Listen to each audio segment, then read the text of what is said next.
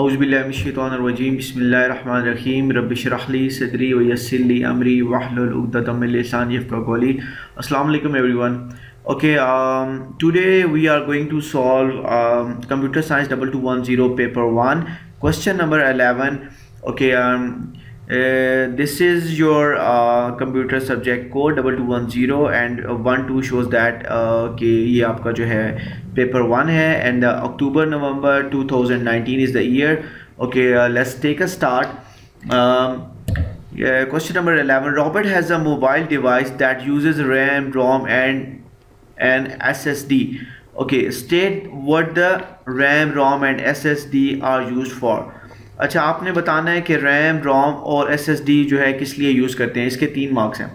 Okay and then second part है इसी का क्वेश्चन नंबर 11 का। Give two reasons why an SSD rather than an HDD is used in mobile phones कि हम जो है, आपने दो रीजंस लिखने हैं यहाँ पे।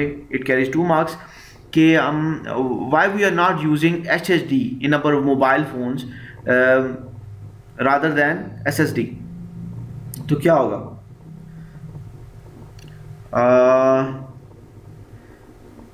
अब let's find the answer okay RAM क्या है हमारे पास? रेंडम एक्सेस मेमोरी है. What is use for it is a random access memory and what else और क्या हो सकता है रैम का? Okay whenever you run any program whenever you turn on your system आप अपना मोबाइल लैपटॉप ऑन करते हो, आप मोबाइल फ़ोन ऑन करते हो, आप टैबलेट ऑन करते हो पहले ऑफ़ पोजीशन पे है शट डाउन है। जैसे ही आपने उसकी पावर को ऑन किया टर्न ऑन करते हैं तो क्या होता है ऑपरेटिंग सिस्टम की कुछ फाइल्स लोड होती हैं। वो कहाँ लोड होती हैं? वो रैम के अंदर लोड होती है। उसका कुछ पार्ट जो है, वो रैम के अंदर लोड होता है। ये हमारी टेम्प्रेरी मेमोरी होती है। It's not permanent memory ROM जो है, इसके अंदर हमारी स्टार्टअप इंस्ट्रक्शंस होती हैं। बेसिक इनपुट आउटपुट को चेक करने वाली इंस्ट्रक्शंस होती हैं जी वो स्टार्टअप इंस्ट्रक्शन और बूटअप इंस्ट्रक्शन होगी। इसके अंदर हमारे पास और क्या स्टोर होता है? फर्मवेयर होता है। ओके okay, फिर हमारे पास ये है और ये परमानेंट मेमोरी होती है ये। इट्स नॉट इट्स इस इस नॉन वोलाटाइल ठीक है? मीन नॉन वोलाटाइल का मीन ये है कि अगर लाइट चली जाती है सम हाउ आपका लैपटॉप ऑफ़ हो जाता है डेस्कटॉप आपका ऑफ़ हो जाता है लाइट चली जाती है सम किसी भी रीज़न की वजह से। तो क्या होता है कि आप, ये अपना डाटा रिटेन करता है डाटा इसका लॉस नहीं होता। जबकि रैम के अंदर हमारा जो है, जो भी डाटा फॉर एग्ज़ाम्पल मैंने राइट नो ये एक फ़ाइल ओपन की हुई है, ये पेपर ओपन किया हुआ है, अक्टूबर, नवंबर question number eleven paper one का तो ये कहाँ पे लोडेड है? ये राइट नो रैम के अंदर लोडेड है। ठीक है? जो भी एडिटिंग कर रहा हूँ, कुछ भी करूँगा तो वो सारा रैम के अंदर जाकर स्टोर होगा, ठीक है? और जैसे ही मैं कंट्रोल एस करूँगा या उसे सेव करूँगा तो वो फ़ाइल रैम में से निकाल के वो एस एस डी के अंदर हार्ड डिस्क या जिसे आप हार्ड डिस्क कहते हैं या आप एस डी कार्ड कहते हैं सोलिड स्टेट कहते हैं, ये आपका मेमोरी कार्ड होगा, ये आपका जो है इंटरनल हार्ड डिस्क होती है, ठीक है? एस एस डी जो आपके लैपटॉप्स के अंदर यूज़ होती है, वो यहाँ पे जाके आपका डाटा को स्टोर करवाता है। ये थोड़ी सी एक्सप्लेनेशन थी ओके अब इसकी थोड़े यहाँ पे डाटा ऐसे सॉल्व करते हैं कि state word the RAM and ROM और S S D are use for RAM किस लिए यूज़ हो रही है जी? Right no whatever you are running it it will be store where in the RAM whenever you open a new file जो भी आप new file open करोगे, वो कहाँ जाएगी? वो डायरेक्टली रैम रैम के अंदर लोड होती है। ठीक है, आपकी सॉलिड स्टेट से उठाया जाता है, उसे ऑपरेटिंग सिस्टम उठाता है और उसे रैम के अंदर लोड कर देता है। तो इसके अंदर हम क्या पॉसिबल आंसर्स लिख सकते हैं यहाँ पे? To store data instructions yes to store data and instructions ठीक है, तीन मार्क्स हैं। तो आप पॉसिबल जितने भी रीजंस लिख सकते हो, आप लिख लो यहाँ पे। ठीक है एक हो गया। The second one is yes और क्या बताया था कि yes part of O S part of O S store in the RAM ठीक है? Part of S that are currently in use ठीक है? Um, what comma? Currently running program जो मैंने आपको अभी बताया जो करंटली सॉफ्टवेयर रन हो रहे हैं ठीक है जितने भी टैब्स ओपन किए हुए हैं जो भी मैंने टास्क बार में ओपन किया हुआ है सारे प्रोग्राम रैम के अंदर currently running program running program ठीक है? ओके जी um, ठीक हो गया। अब रॉम है हमारे पास। रॉम के अंदर हमारे पास क्या होता है? रीड ओनली मेमोरी है ये। रीड ओनली मेमोरी है और ये रैम जो है हमारी रेंडम एक्सेस मेमोरी है ये हमारी टेम्परेली uh, मेमोरी है और ये हमारी परमानेंट मेमोरी है। So you can say that it's a right over here start up instructions boot up instruction bios ठीक है? you can uh, store here yeah. Startup instructions. Boot up instructions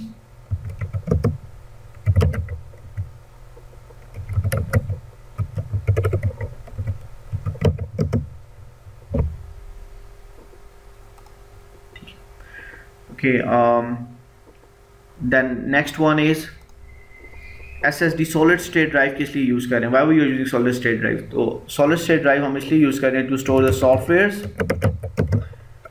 softwares to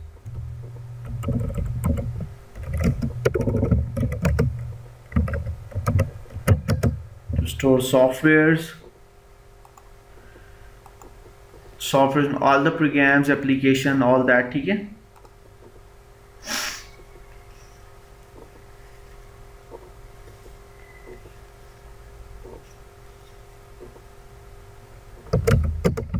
and your file जिस तरह मेरे पास ये file है PDF file है Word file है Excel file है all kind of file you can store using S S D you can store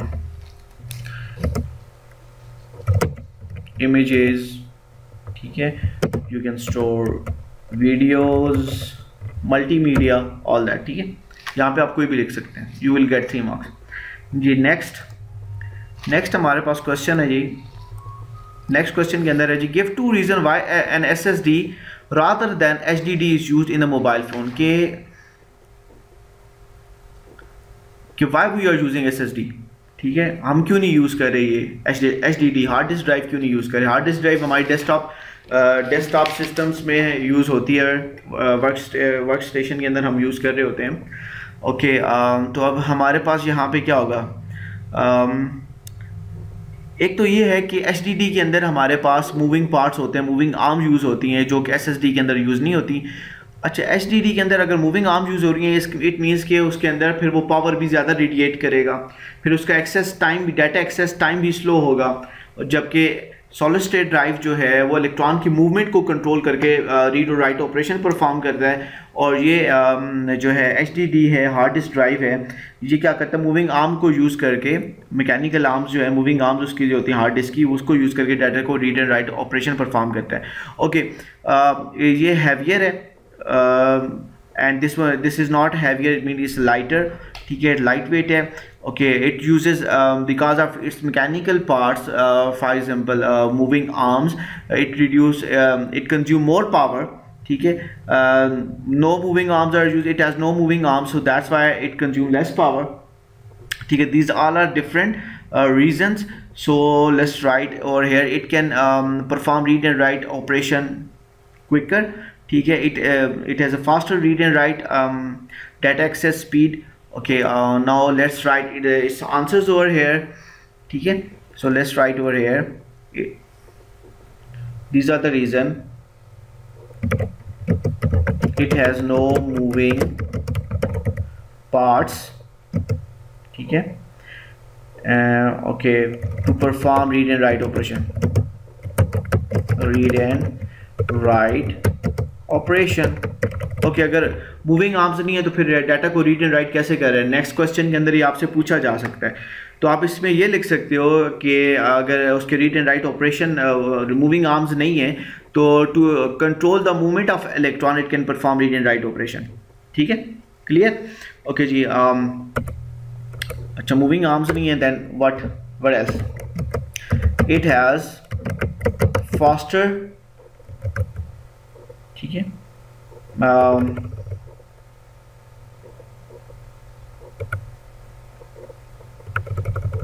तो ऊपर लिख दिया मैंने read and write operation it has to perform read and write operation it has no moving parts okay then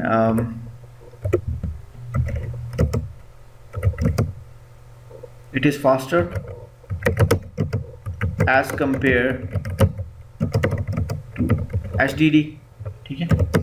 okay it's light weight ठीक है, एक और लिखने रीज़न यहाँ पे भी लिखना है ना we have to get two marks तो इनमें से अगर मैं कोई भी पॉइंट यहाँ पे लिख सकता हूँ तो you will get two marks ठीक है?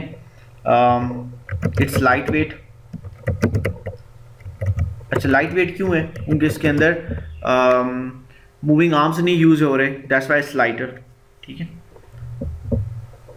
It's light weight okay then light weight at means it's smaller ठीक है पावर कंजम्पशन भी uh, फिर इसकी कम होगी क्योंकि इसके अंदर मूविंग आर्म्स नहीं है तो इसकी uh, ये पावर कंजम्पशन भी बहुत uh, कम होगी ठीक है और इट्स पोर्टेबल ठीक है आप इसमें से कोई भी पॉइंट लिख सकते हो। पोर्टेबल है तो मोबाइल पोर्टेबल ही होते हैं ठीक है। और उसके अंदर जो एस डी कार्ड्स लगे होते हैं ओबियसली पोर्टेबल मीन्स कि आप उसे कहीं भी लेके जा सकते हो इट्स रिप्लेसेबल ठीक है? एच डी डी को भी रिप्लेस कर सकते हो, ठीक है? लेकिन वो ज़्यादा हैवी होती है। That's it okay you will get 5 marks over here okay okay thank you very much. Like and subscribe my channel and if you have any question or query you can write in the comment box. Okay right now we have solved question number uh, 11 okay in uh, next tutorial i'm going to solve uh, october november mm, 2019 question number 9 and rest of the questions.